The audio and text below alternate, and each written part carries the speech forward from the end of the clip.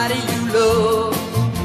But that's no reason for you to break down